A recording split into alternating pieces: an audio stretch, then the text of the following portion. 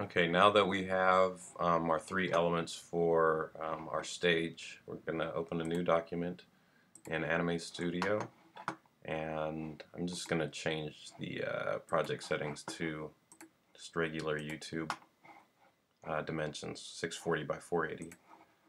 And now we're going to just import our three images that we just made. So go to File, Import, Image, and go to the stage is our background. And I'll sh shrink that down. So there's our stage. Um, import spotlight. So another image spotlight PNG right there. And we'll scale that down as well. And also the camera flash image camera flash PNG and scale that down too. Now the camera flash you can kind of see how the uh, spotlight's going to look already um, when it renders. It's already it's going to save the gradient and looks pretty good already. The camera flash um, you're going to have to actually double click on the layer and change the blending mode into to screen. And you won't be able to see it um, while you're working on it but if you render it you can see it looks just like a regular lens flare.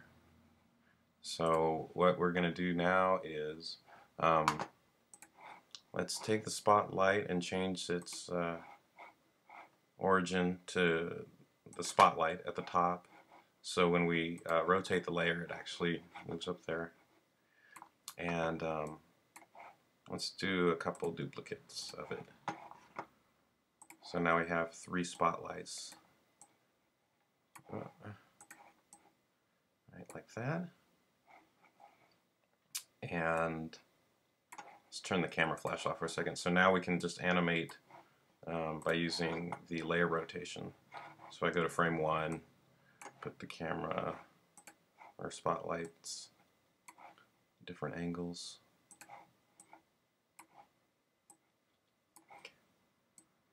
Make another keyframe. Those. And just just for the tutorial purposes, I'll just uh, copy the first um, frame and paste it, and then just do a loop cycle. So when you play it, it just keeps going. Oh, I got to do it on all of them. Uh, copy, paste. But you can sync them to music or, you know, time it, time it out better. I just uh, wanted to show you how it looks. Copy, paste, and cycle. So there you have your spotlights waving. And like I said, once you render it out, it's going to look like this. Um, just the pre-render looks kind of uh, sketchy. So the second thing is the camera flash. The way I do this is I'm going to take my layer and oops go back to frame zero. Yeah, or actually frame one is where we'll start. I'm gonna have the first lens flare go off here. So I'm going to shrink it down by scaling it. And actually I'm gonna go in the timeline a little bit more and create a keyframe. And let's go back to frame zero um, double click on the layers and uncheck visible so it's hidden and go to your first keyframe double click and hit visible again. And now I'm going to go about two frames in and just expand it really big and copy and paste the first frame.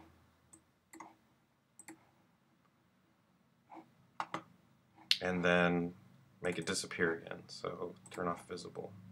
So now it's just going to make a pop. See how it just expands and contracts really quick within three frames. Um, now what I'm going to do is I'm going to copy and paste those frames just down the timeline.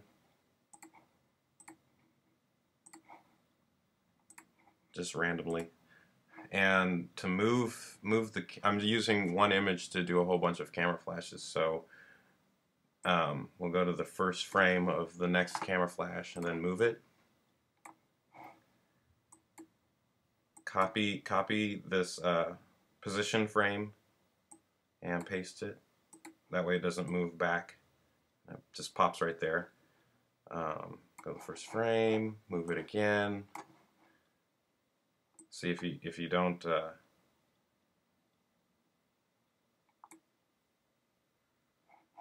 okay. Copy paste. Sorry I had a brain fart there. And go to the first frame move it again. And copy and paste so it doesn't move. Paste and one more time. Copy and paste. Or wait got that.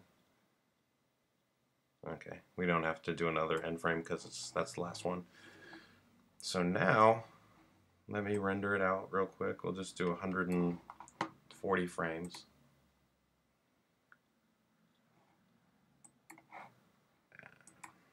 just so you can see what it looks like.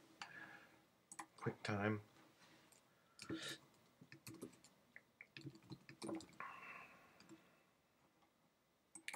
We'll render it high, or no, medium.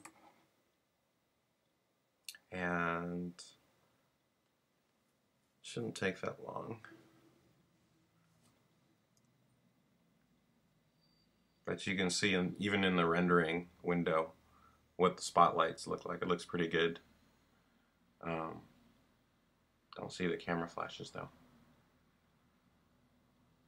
Give it one more second, or a couple more seconds.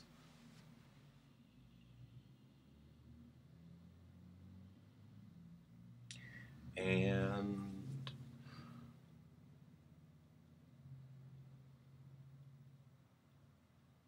there it is it's low quality. I wanted it to render fast so you guys can see it, but you can see the camera um, flashes popping off. Probably should have made more. But that's it. I hope you liked it.